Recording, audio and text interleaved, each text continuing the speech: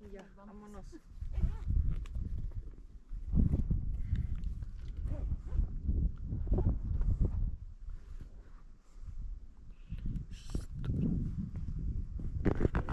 Dicen que en Monterrey está lloviendo a cántaros, ¿eh?